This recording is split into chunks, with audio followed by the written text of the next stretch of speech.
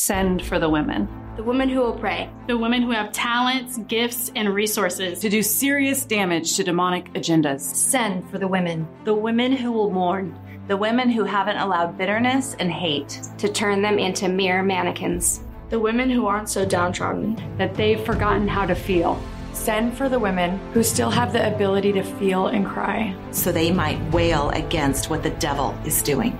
Send for the women who will weep and wail the women who will mourn in sackcloth and ashes. Send for the women. The women who will wake up everyone around them, calling out, The devil is destroying us. Death is on its way. Send for the women who will be God's warning shout to his people, his alarm system, his tornado signal, his air raid siren. The women who God will use to warn his people of the impending consequences of sin. Send for the women who have a God given destiny to destroy the power of Satan over God's people by waking them up and calling them to a mourning of repentance. Women who would teach their daughters to weep against sin and the assault of the devil. Send for the women women who have a destiny to open their mouth and cry against the evil that the devil has put upon God's people. Women who have ideas to be voiced, energy to be released, abilities to be exercised, power to be loosed, spiritual gifts to be expressed, prayers to be prayed. Send for the women who look toward the future, to what they can be,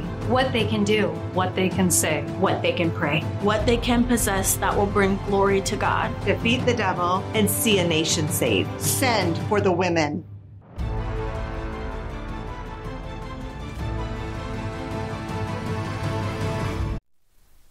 Well, hello, everyone. Welcome to the podcast, The Busy Believer. Hey, this week we've got an episode called Citizens of Heaven. Are they better than earthly citizens? And is this real or a fantasy? And what could a citizen of heaven look like?